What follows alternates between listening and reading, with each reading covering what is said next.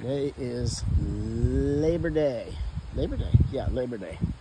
Looks like Dora's already started working on her next project. More beds. Now that this new part, see, I don't know if you can tell, see where the brown is more brown and less brown over there. We just got this finished up. And uh, so Dora's now working. The next step is making the beds around it. Hey, you're not, okay. Uh, don't eat those berries. I think these berries,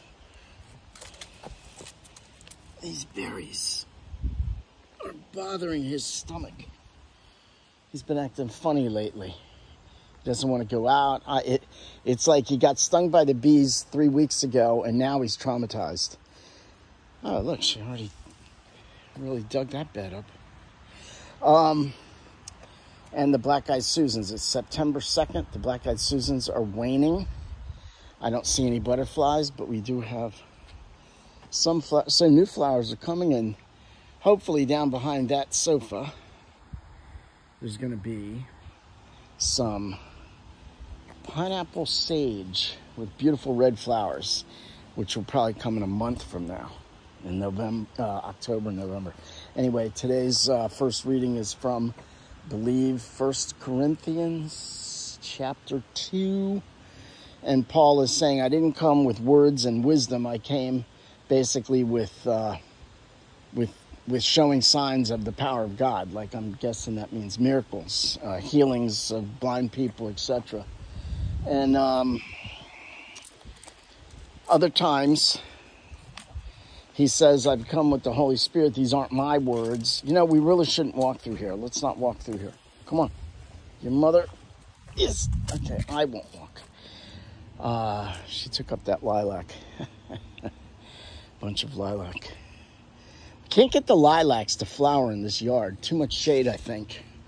All these trees. I think the lilacs need really full sun. Which is funny because we had a lilac tree near my house, near my two near my bedroom, two-story window, which started in the basically the shade of the house, and then grew two practically two stories, so I could eventually smell. At least that's my recollection. I could smell the lilacs in my bedroom window as a boy. Um, so, uh, in the second reading, it is from the Gospel of Luke, I believe, chapter 4, verse six, 16 to 30. And it's the verse that we get a couple of times a year during ordinary time, and I believe sometimes during the uh, uh, whatever other more more high holy high days, whatever you call that.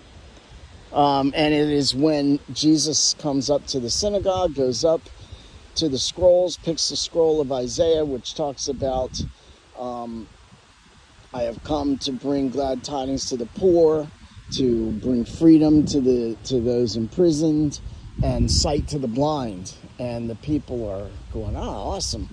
Jesus sits down and says, "You have seen this in in, in this."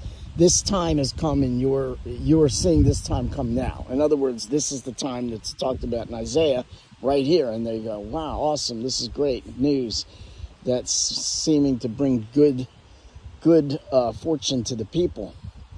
And then they go, isn't this the son of Joseph? And then they start doubting.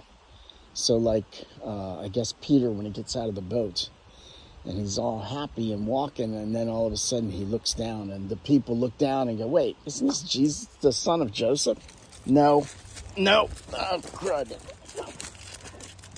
and um no great great i think that means someone's here uh so they say isn't come here come here Come here, let's check. Stop pulling. Yes, okay. So let's wrap this up. So Jesus says, um, you're you're seeing this now, and they say, "Wait, isn't this the son of Joseph?" And Jesus says, "Isn't it said somewhere that you won't listen to the prophet? Can't work in his own town?" And I think other places we hear Jesus wasn't able to do anything but a few small miracles in areas where they didn't believe in him, because everyone knows the people that live in their neighborhood and their own dirty laundry, but Jesus had none. Jesus did nothing wrong. Um, so, uh, still, um, so, what the heck? Oh, wow. Wow. Oops.